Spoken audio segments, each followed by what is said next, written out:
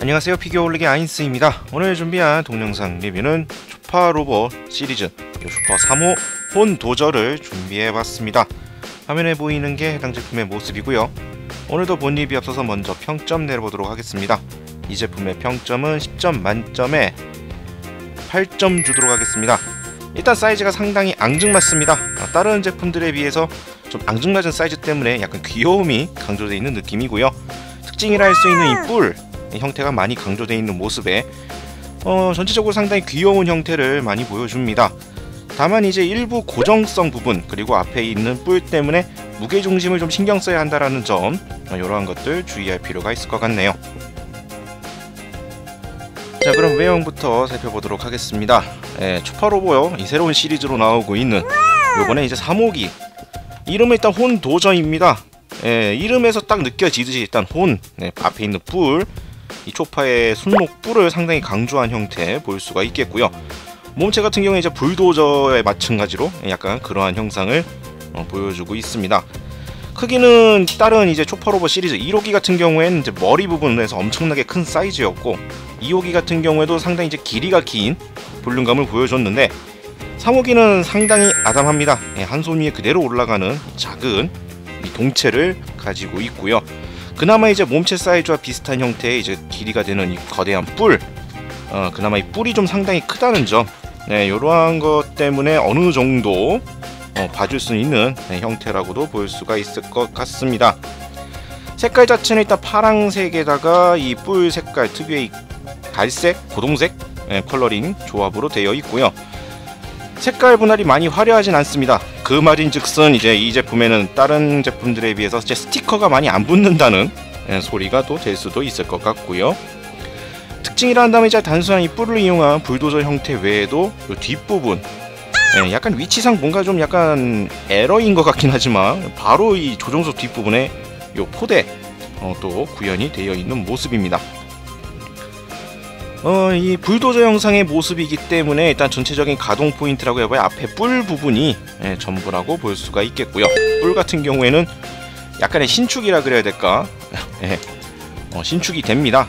어, 실제 이제 원래 이 혼도저 상태라고 한다면 처음에 보셨던 것보다는 약간 뿔이 약간 짧은 어, 길이로 되겠고요. 이 순록 뿔 같은 경우에는 단순히 뿔 이렇게 형태만 있는 게 아니라 안쪽에 이렇게 좀 잔 가지라 그래야 될까? 그런 것들이 있죠. 마찬가지로 다 표현이 되어 있는 형태라는 점 참고하시면 되겠습니다. 어, 다만 이제 이 제품에서 약간 주의해야 될 부분이라 한다면 앞서서 이제 고정성과 무게중심을 이야기를 드렸는데 네, 보시다시피 몸체 길이와 뿔 길이가 거의 비율상 거의 1대1에 가깝습니다. 그렇기 때문에 이 뿔을 좀 앞쪽으로 전면으로 내세웠을 경우에는 아까 살짝 보셨죠? 이게 뒤가 살짝 들린, 들리는 거 예, 요런 것들 때문에 약간 주의를 해줄 필요가 있겠고요. 또 그 외에는 이 초파로브의 변신 합체 기믹 때문에 콕피트 조종석 부분이 약간 움직입니다.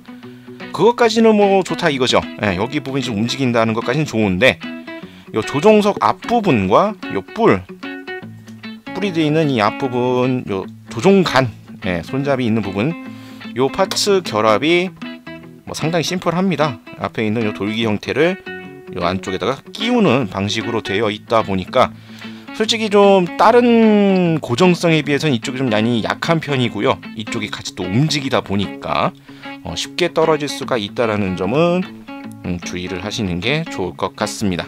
여기에 이제 일단 초파는 또 다른 제품들과 마찬가지로 두 종류가 부속이 됩니다.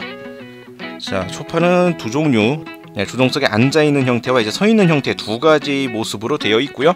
이 초파 시리즈가 다 다른 형태로 되어 있기 때문에 이걸 또 모으는 재미가 쏠쏠할 것 같습니다.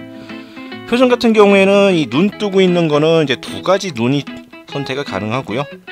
예, 하나는 좀 어, 이제 딱 뭔가 공격을 받았을 때 어울리는 예, X자 표시의 눈, 예, 두 가지 얼굴 형태 그리고 조종석에 앉아 있는 이 앉아 있는 형태와 서 있는 형태 두 가지 몸통 선택이 가능합니다. 그리고 서 있는 몸통에는 예, 뒤에 받쳐줄 수 있는 단독으로 세우면 안 선다는 것은 이미 이전 제품에서 다 보여드렸었죠. 네, 마찬가지로 동일하게 세울 수 있는 받침대 구성이 똑같이 어, 들어가 있습니다. 예, 조인트 부분은 다 동일하기 때문에 뭐 초, 초파 시리즈를 여러 개를 모으셔서 원하는 대로 뭐 조합을 해보시는 것도 충분히 가능한 구성이라고 볼 수가 있겠고요. 어, 이거는 이제 아무래도 시리즈로 나오고 있는 제품인 만큼 네, 다양하게 어, 여러 제품을 모으셔야 진가가 발휘되는 제품이라는 것도 참고하시면 되겠습니다. 아, 그리고 이 제품 같은 경우에는 이제 합체가 또 메인이라고 볼 수가 있겠죠. 1호기부터 5호기까지 발매가 되었고 이 전부를 합체를 하면 거대한 초파의 형성을 합체할 수가 있습니다. 물론 이제 제품 개개별끼리도 어느 정도의 합체 기믹이 구현들이 되어 있었고요. 앞서서는 이제 1, 2호기의 합체를 보여드렸었는데 3호기까지 들어와 있는 시점에서의 합체를 해보려고 했으나 어, 1, 2, 3호기의 합체는 사실상 보니까 불가능하더라고요. 왜냐면 이 혼도저가 변신을 하면은 이 가방 형태로 변신을 하게 되는데 이 저희가 이제 아직 완성분에서는 몸통이 없기 때문에 어, 몸통 부분에 해당하는 조인트 연결할 곳이 없어서 가방 형태로 멜 수는 없고요. 대신이라고 하긴 뭐하지만 일단 매뉴얼 상에는 2호기와 3호기의 합체 모습이 또 나와 있긴 합니다. 자 매뉴얼 상에서의 합체 모습이고요. 네, 요것을 한번 따라해 본다고 하면은 합체를 위해서는 일단 포신을 분리 포신 자체를 요 안쪽 커버에다가 넣어서 보관을 하는 형태로 만들어 주시면 되고요. 뚜껑을 그대로 덮어주는 형상을 만들어주고 바퀴를 좌우로 전개 조종석을 아래쪽으로 내려줍니다. 그리고 뿔을 안쪽에 요 잔가지들을 안쪽으로 수납을 시켜주고 이 뿔 부분을 이제 분해서 연장을 시켜주는 형태로 하면은 일단 기본적인 합체 예, 원래 이제 1호기부터 5호기까지 합체의 준비가 완료가 됩니다. 예, 이 상태가 이제 준비가 완료된 형태고요. 2호기와 3호기 합체 형태에선 약간 바꿔줘야 되는 부분이 뿔의 방향을 바꿔줘야 되더라고요. 그냥 끼웠을 경우에는 저 모습대로 형태가 나오질 않습니다. 예, 2, 3호기 합체일 경우에는 이 좌우의 뿔을 바꿔서 뿔을 이제 아래쪽으로 내려가게 네, 곡선을 이렇게 만들어 주시면 되겠습니다. 그리고 네, 2호기 같은 경우에는 합체와 뭐 다른 별 문제 없습니다. 바퀴 부분을 이제 앞쪽으로 빼주고 상반신 부분을 들어서 이제 몸통을 만들어 주고요. 네, 여기에 원래는 팔을 반대로 이제 방향을 바꿔서 관절을 앞쪽으로 향하게 준비를 시켜줍니다. 뒤에 나와 있는 조인트에 요 가방 형태로 되어 있는 조파의 조인트를 결합을 시켜주시고 요 뿔 부분을 이 어깨 안쪽으로 밀어 넣게끔 감싸도록 안쪽으로 넣어 주시면은 예, 매뉴얼상에 나와 있는 2호기와 3호기의 합체 형태를 이렇게 재현을 시켜줄 수가 있습니다. 솔직히 모습 자체가 뭐 이렇게 깔끔하게 좋아 보이지는 않습니다만 일단 기믹상으로 어, 나와 있는 합체 구조라는 거 이렇게 확인을 해볼 수가 있겠네요. 자 이렇게 매뉴얼상의 모습으로 재현은 가능합니다. 예, 다만 이 상태에서 살짝 주의하셔야 될 부분 예, 상반신이 좀 앞쪽으로 쏠려 있는 형태죠. 아무래도 바퀴의 각도라든지 이러한 각도 때문에 이 정상으로 딱 서 있는 형태 아니라 앞으로 좀 쏠려 있는 형태입니다. 이걸 보시고 어, 좀 앞으로 많이 쏠린 것 같다. 이렇게 꼿꼿하게 좀 세워보자라고 들었을 경우에는 뒤로 넘어갑니다. 예, 예, 그렇기 때문에 이 형태는 앞쪽으로 약간 쏠려 있는 형태로 유지를 시켜 주셔야 된다는 점 참고하시면 되겠고요. 어, 합체 형태를 봤을 때 자, 매뉴얼상에 있는 이 합체 형태를 보시면은 예, 가방 형태로 됩니다. 예, 완성된 형태로 기준으로 했을 때 이 등에 매달리면서 가방끈 형태처럼 멜빵처럼 이 팔뚝 어깨 쪽을 감싸는 형태로 등 뒤에 붙어 있는 형태가 되는데 아직까지는 3호기까지 해서는 몸통이 안 나오죠. 4호기가 나와야 이제 아마 몸통이 되면서 결합이 가능할 것으로 보여지기 때문에 나머지 합체 형태 부분, 이 전체 합체 형태에 대해서는 4호기를 만들어 보고 어, 살펴보도록 하겠습니다. 지금 이제 2, 3호기의 합체 형태까지만 예, 구현 가능하다는 거 참고하시면 되겠네요. 다음으로 제품에 대한 정보와 이 기체에 대한 설명 간단히 보도록 하겠습니다. 발매는 2016년 11월 3일, 가격은 650엔입니다. 쵸파의 악마 열매 능력을 모티브로 한 귀여운 디자인으로 되어 있고요. 이 3호기는 강력 강화, 혼 포인트를 모티브로 하고 있습니다. 이 새로 나온 쵸파 시리즈 모드를 모아서 변형 합체 놀이가 가능한 제품입니다.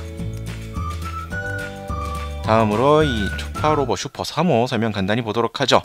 예, 강력 강화 능력을 가진 이 내설 사양의 리프트 머신입니다. 각지에서 모은 자료를 보관하고 있는 냉동고에서 화물의 출입과 현장까지의 수송을 담당한다고 하네요. 이 혼 리프트는 집기, 옮기기, 걸기 등의 동작이 가능하다고 합니다. 자 이렇게 해서 오늘은 쵸파 로보 시리즈 슈퍼 3호 혼 도저를 살펴봤습니다. 상당히 작고 아담한 형태, 스티커도 많이 쓰이지가 않고요. 전체적으로 뭐 아기자기한 맛이 있는 제품입니다. 합체 모형 같은 경우에는 아직까지 2, 3호기 합체만 가능한 형태이고 예, 전체 합체는 이 다른 제품이 더 있어야 가능한 형태라서 조금 아쉽긴 하네요. 약간의 고정성 부분 네, 이런 것만 개선이 된다 그러면 좀 더 좋을 제품이 될 것 같습니다. 자 이렇게 해서 오늘 리뷰는 여기서 마치도록 하겠고요. 다음에 또 다른 제품을 가지고 찾아뵙도록 하겠습니다. 저희 유튜브 피규어올릭 채널 좋아요와 구독 많이 부탁드리겠고요.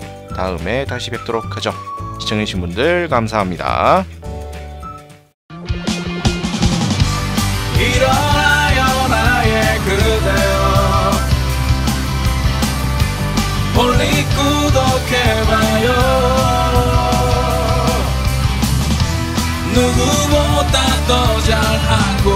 John.